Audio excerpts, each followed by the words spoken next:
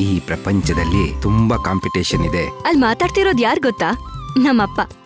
ಅವ್ರಲ್ಲಿ ನನ್ನ ಹತ್ರನೇ ಮಾತಾಡ್ತಿದ್ದಾರೆ ನಮ್ಮಪ್ಪನ ಆಸೆ ಅಂತೆ ನಾನ್ ಚೆನ್ನಾಗಿ ಓದಿ ಸಾಧನೆ ಮಾಡ್ಲೇಬೇಕು ಅಂತ. ನಾನ್ ಹುಟ್ಟೋಕು ಮುಂಚೆನೆ ಡಿಸೈಡ್ ಮಾಡ್ಕೊಂಡು ಹುಟ್ತಾ ಇರೋ ಸ್ಪೆಷಲ್ ಮಗು ನಾನು. ಜನನಿ ಇಂದಿನಿಂದ ರಾತ್ರಿ ಒಂಬತ್ತಕ್ಕೆ ನಿಮ್ಮ ಉದಯ ಟಿವಿಯಲ್ಲಿ